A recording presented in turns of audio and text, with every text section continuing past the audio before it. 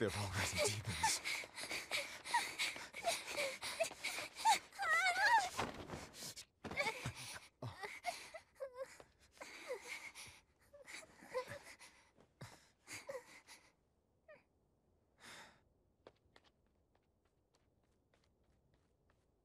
You hide here, Velvet. I'm going back to help Celica. I'm so scared.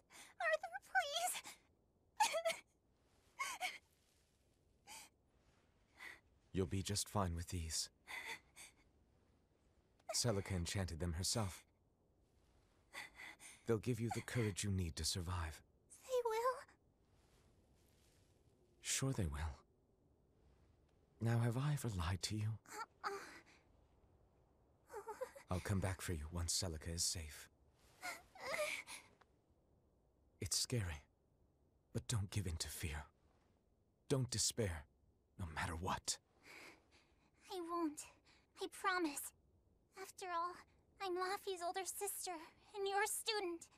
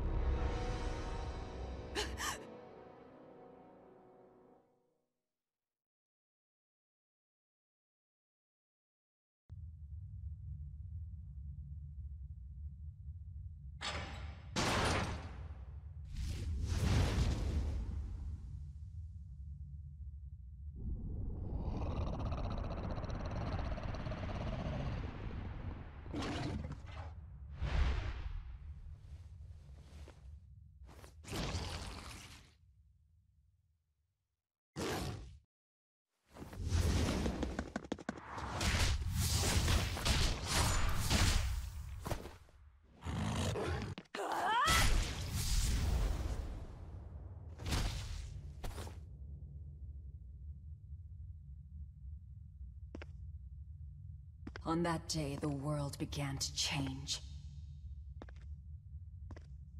Men and beasts possessed by evil spirits, hunting and killing anyone they could. But even in the depths of despair, only two things matter to me. The taste of blood-soaked flesh. And revenge upon one man.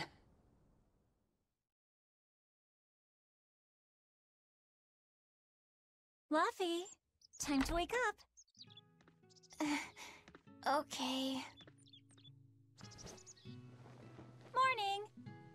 I told you to stop calling me Laffy. I'm not a little kid anymore. grumble, grumble, huh?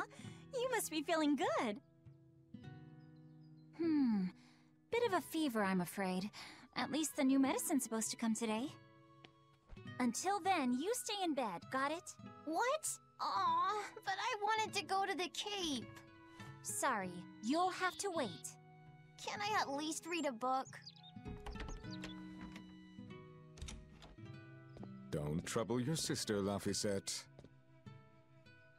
I didn't mean to. Arthur, done chopping firewood? Yeah, enough to last through winter. But there's something else I need to take care of. Sorry, but medicine money will have to wait a bit. I can earn it myself then. Bring down a few prickle boars, and I'll have plenty to offer in trade. On your own? Arthur's first maxim. Plans must be solid and reactions flexible. All right. I shouldn't doubt my students' abilities. Sorry to put you in a spot. I'm sorry, Velvet. Whoa, hey! What's everyone apologizing for? We're a family, right? Right. I'll see you later. I whipped up some porridge for you, okay? Be back by evening. Thank you. Be careful, Velvet.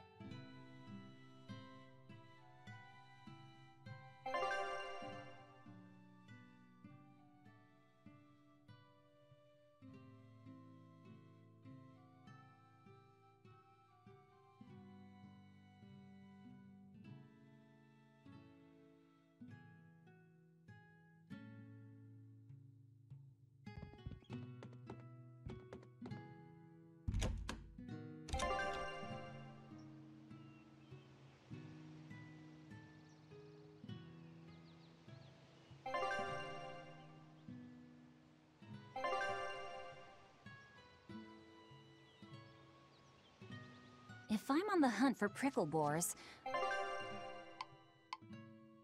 I'd better try the tranquil woods outside of town. This is for Laffy's medicine, so I can't mess this up.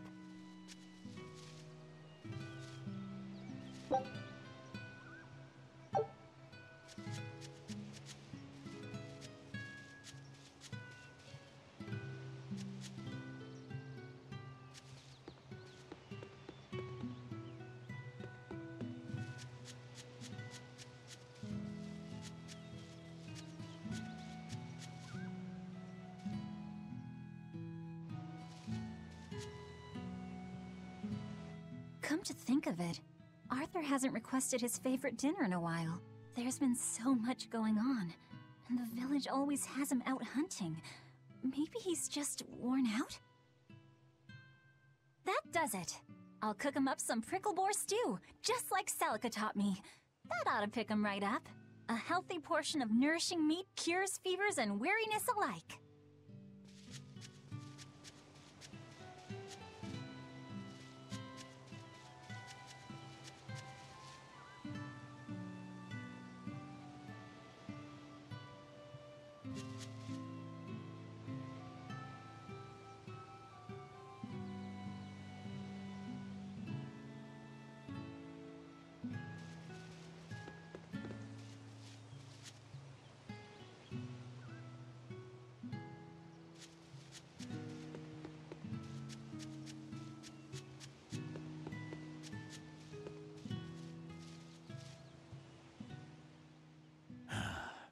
Ever since the opening seven years ago, this world's really gone crazy.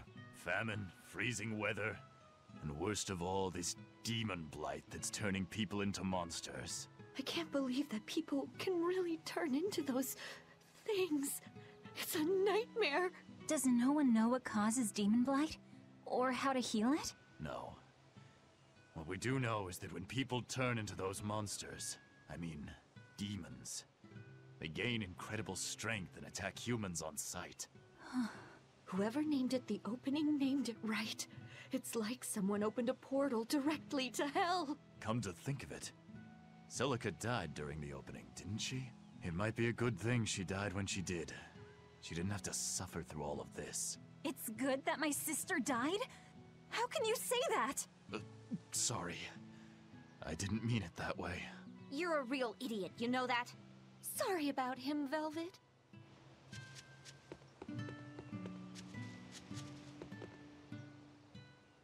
Hey, Velvet.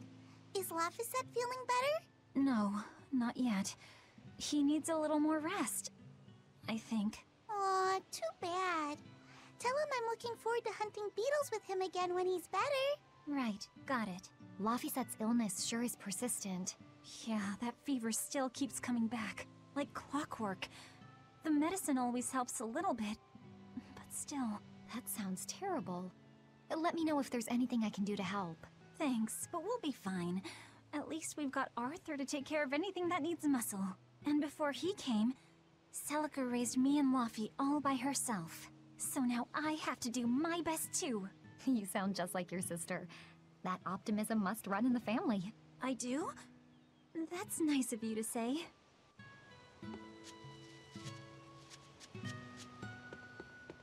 Should probably stock up on a few things before I go into the forest. I don't have a lot of money to spare, but like Arthur always says, battles are won and lost with the preparations made before the first strike.